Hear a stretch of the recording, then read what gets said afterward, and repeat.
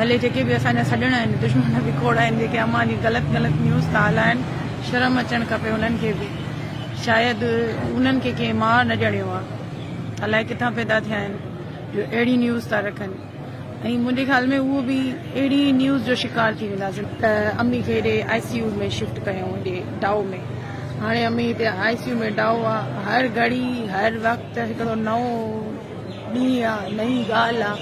हर कलाक में हिकिड़ी नई रिपोर्ट आहे असां न जीअर आहियूं न मल आहियूं अलाह में आसरो आहे ऐं तव्हां सभिनी खे दुआउनि जे लाइ चऊं था त अपील था कयूं त प्लीज़ तव्हां दुआ कयो त जीअं जेको आहे सो अमी बहितर थिए न के फेक न्यूज़ हलायो फेक न्यूज़ हलाईंदो मां खणी बदुआ न बि ॾियां अलाह साईं तव्हांखे उहा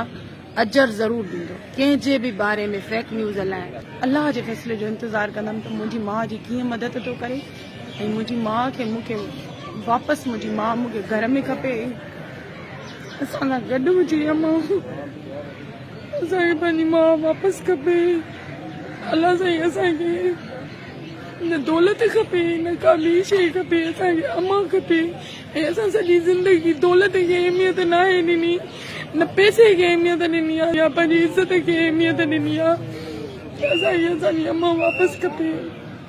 મહેરબાની કયો માં हिकिड़े हथ सां थी वीडियो ठाहियां